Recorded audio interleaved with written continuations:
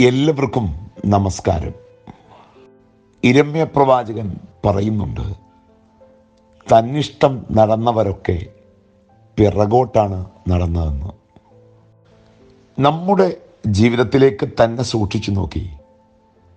പിന്നിട്ട വഴികളിൽ പല ഇഷ്ടങ്ങളും തന്നിഷ്ടങ്ങളായിരുന്നു. അതുകൊണ്ട് മുന്നോട്ട് പോകുമെന്ന് കരുതിയ നമ്മൾ ഒത്തിരി പിന്നിലാണെന്ന് തിരിച്ചറിയുന്നത് നടുക്കത്തോടെയാണ്. വിശുദ്ധ വേദപുസ്തകം അത് വരച്ചു കാട്ടുന്നുണ്ട്. തന്നിഷ്ടം കൊണ്ട് തിന്ന പഴവും തന്നിഷ്ടപ്രകാരം ബലിയർപ്പിച്ച കായേനും തന്നിഷ്ടത്തോടെ പണിതുയർത്തിയ ബാബേൽ ഗോപുരവും തന്നിഷ്ടം ഇസ്രായേൽ രൂപകൽപ്പന ചെയ്ത് കുമ്പിട്ട കാളയും തന്നിഷ്ടപ്രകാരം തർസീസിലേക്ക് പോയ യോനയുമെല്ലാം പിറകോട്ട് നടക്കലിന്റെ ചരിത്ര ദുഃഖങ്ങളാണ് എന്നാൽ ഗത്സമനയിൽ മുട്ടുകുത്തി പ്രാർത്ഥിച്ച ക്രിസ്തു മുന്നോട്ട് പോകലിന്റെ വഴി ഏതാണെന്ന് കാണിക്കുന്നുണ്ട്. ദൈവമേ എന്റെ ഹിതമല്ല നിന്റെ ഹിതം പോലെ ഭവിക്കട്ടെ എന്ന്. ക്രിസ്തു ജീവിതം അങ്ങനെയായിരുന്നു. ആയിരം മാലാകവൃന്ദങ്ങളുടെ അകമ്പടിയേക്കാൾ ഒരത്തിമരത്തണലും പ്രതാപൈശ്വര്യങ്ങളുടെ അമ്പരചുംബിത സൗധങ്ങളെക്കാൾ കാലിക്കൂടും വേദന സംഹാരികളുടെ ചൊറുക്കയേക്കാൾ വെന്തു നൊന്തു വിളമ്പപ്പെടുന്നതും അവൻ തെരഞ്ഞെടുത്തത് ഒരു പ്രതിസംസ്കാരത്തിന്റെ പ്രതിധ്വനിയാകുവാൻ വേണ്ടിയായിരുന്നു.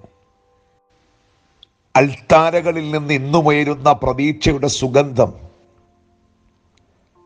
ദൈവഹിതത്തിന് സമർപ്പിക്കപ്പെട്ട ജീവിതത്തിന്റെ സുഗന്ധമാണ്.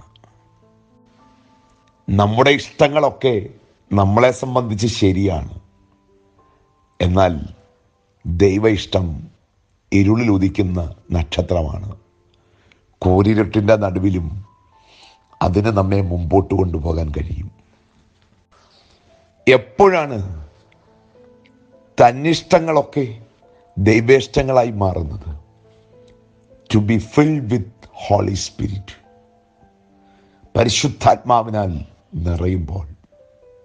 നമ്മളെ ഈ സമൂഹം കാണുന്നത് നമ്മുടെ പ്രവൃത്തികളിലൂടെയാണ് അതുകൊണ്ട് ആ പ്രവൃത്തി വ്യക്തിയെ പ്രകാശിപ്പിക്കുന്നു.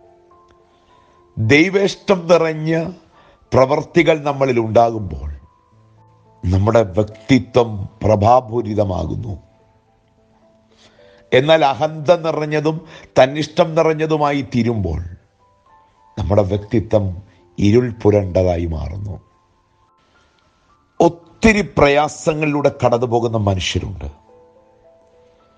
അവരെ ഓർമ്മിപ്പിക്കാനുള്ളത് when your worry into worship God will turn your battles into blessings നിങ്ങളുടെ ആശങ്കകളെ ആരാധനകളാക്കി മാറ്റൂ. നിങ്ങളുടെ യുദ്ധങ്ങൾ അനുഗ്രഹങ്ങളായി മാറും. സ്വന്ത ഇഷ്ടമല്ല. ദൈവേഷ്ടത്തിനായി നമുക്ക് നമ്മെ ഏൽപ്പിക്കാം. ഇരമ്യ പ്രവചനം ഏഴാം അധ്യായം ഇരുപത്തിനാലാം വാക്യം. എന്നാൽ അവർ അനുസരിക്കുകയോ ശ്രദ്ധിക്കുകയോ ചെയ്യാതെ തങ്ങളുടെ ദുഷ്ടഹൃദയത്തിന്റെ ആലോചനയിലും ദുശാഠ്യത്തിലും നടന്ന് മുൻപോട്ടല്ല പുറകോട്ട് തന്നെ പോയി കളഞ്ഞു.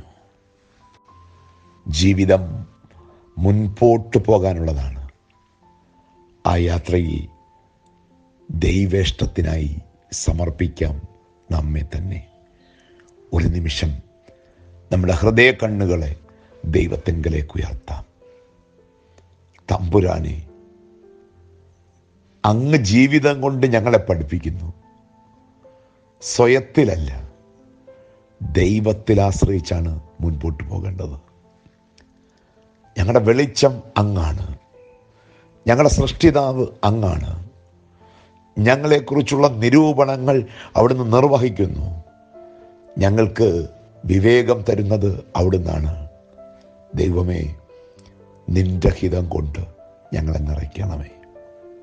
അഹന്ത നിറഞ്ഞ തീരുമാനങ്ങളിൽ ഞങ്ങൾ ഇരുളിൽ തപ്പാതെ ദൈവബോധ്യത്തോടെ നല്ല തീരുമാനങ്ങൾ എടുക്കാൻ അവിടുന്ന് കൃപ ചൊരിയണമേ. ഈ ലോക ജീവിതയാത്രയിൽ ഞങ്ങൾക്ക് മുൻപോട്ട് പോകാൻ അങ്ങയുടെ കൃപ ആവശ്യമാണ്.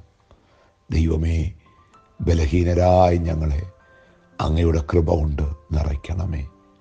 ആയത് പിതാവിന്റെയും പുത്രന്റെയും പരിശുദ്ധാത്മാവിന്റെയും നിസ്തുല നാമത്തിൽ തന്നെ.